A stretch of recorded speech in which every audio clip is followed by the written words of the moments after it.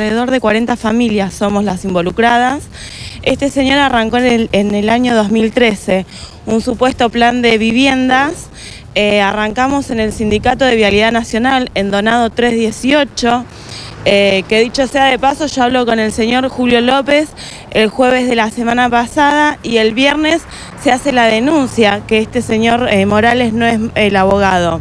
Eh, de lo cual, buscando noticias anteriores, eh, este señor Morales es el abogado de Vialidad Nacional, eh, con otros, con el Plan Federal, un montón de estafas más.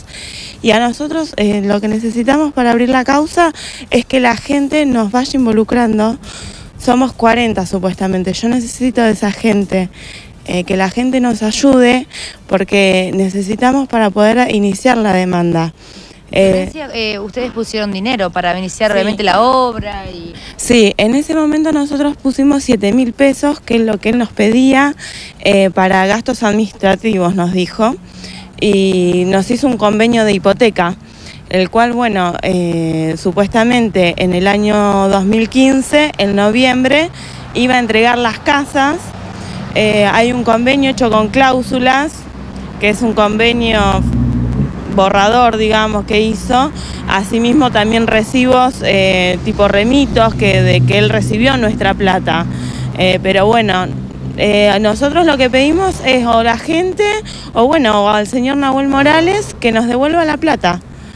Este barrio jamás se comenzó la obra, ¿verdad? Siempre nos mintió, siempre nos mintió. se inició ahora en la zona, era Celarrayán y Latancio. Eh, se están moviendo los terrenos, pero porque lo está moviendo la inmobiliaria dueña del terreno. Eh, yo hablé con el hombre, con el dueño, eh, porque en su momento tenía el cartel de venta. Nahuel Morales vendió el barrio con el plano del abogado. o sea, con el plano del abogado, en octubre de 2015 me hizo elegir mi terreno.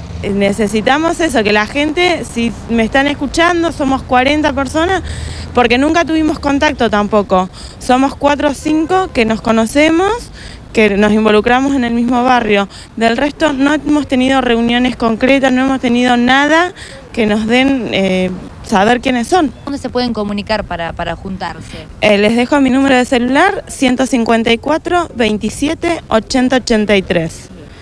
Cualquier cosa, nosotros vamos a estar esperando eso, que nos llamen para poder iniciar la demanda.